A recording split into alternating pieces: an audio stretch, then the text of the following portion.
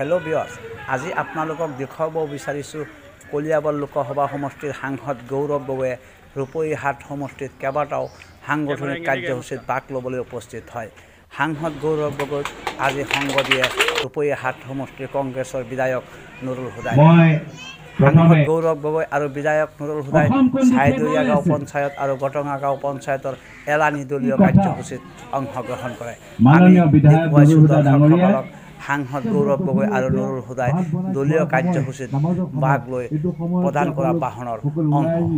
আমাৰ কথাখিনি শুনাৰ কাৰণে আপোনালোকক সহযোগ কৰাৰ কাৰণে আপোনালোক উপস্থিত হ'ল। মোৰ ক'ব যাতে হিন্দুসকল একগোট হৈ যায়। ইফালে নিৰ্বাচন আহিব মুছলমানৰ ভোট ভাঙাৰ কাৰণে কেণ্ডিডেট দিব। আজি এইখন সভা যথেষ্ট গুৰুত্বপূৰ্ণ। কিয়? যে বৰ্তমানৰ ৰাজনৈতিক পৰিৱেশ কিমান জটিল ৰাইজে কিমান সমস্যাৰ লগত যুঁজি আছে। বৰ দুপৰীয়া এতিয়া ভাত বনাই খোৱাৰ সময় নামাজৰ সময়।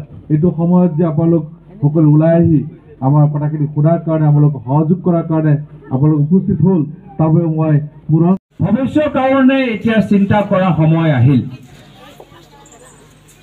ভাৰত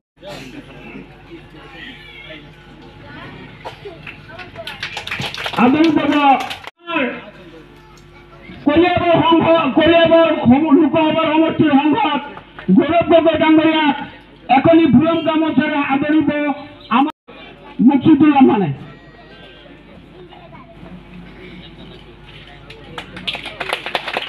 লগে লগে কৰিছোঁ আজি মুঠতে কথা হ'ল যে বৰ্তমান যিটো বিজেপি দলৰ শাসন ব্যৱস্থা চলি আছে আমি এতিয়া পৰ্যালোচনা কৰিব লগা হ'ল।